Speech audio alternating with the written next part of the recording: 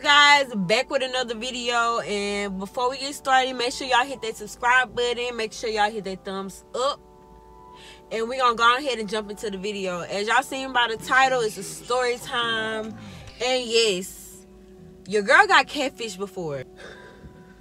This happened my freshman year in college.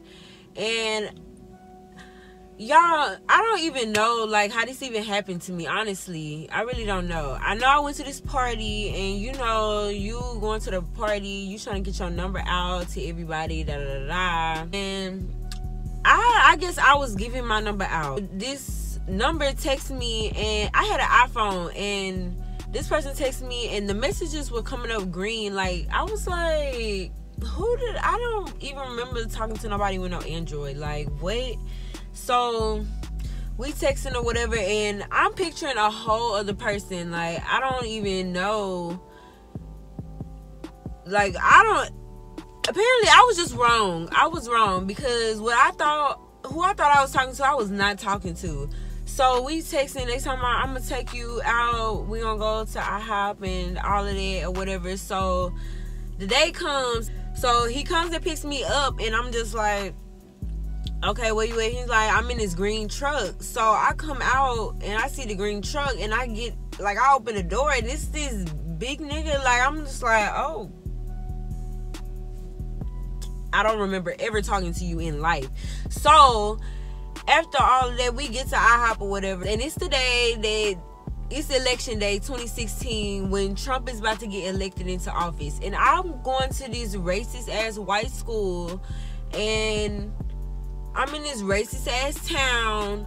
So we at the IHOP with these racist people and I'm already nervous and then, and I'm scared. I'm like I'm tweeting stuff on my phone and he sees my tweets and I'm just like nigga, I didn't even know you followed me. Like what? So I'm just like, okay, I can't even tweet about this nigga at all because that nigga gonna see that.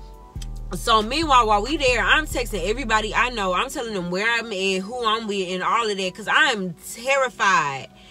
Y'all, I don't even know. Like, I don't remember even who the dude was. So if he ever see this, sir, I'm sorry. Like, I don't you who where you came from? Like that's the real question. Where you came from? We added everything. I really wasn't he was talking to me but i really wasn't talking because i was scared. Like i'm texting my brother the whole time. So he paid for the food and everything and trump gets elected. Like it's really going crazy in there. So it's time to like go. Deuces. Like let's go. So he takes me back to my dorm and I'm like, bye. He was like, yeah, we should do this again. I never text that nigga again, like ever again in life. Like never, ever. Like I ain't never talked to him no more because I was just terrified. I think I blocked the number and everything. And so yeah, if some random number start texting you, don't go and talk about.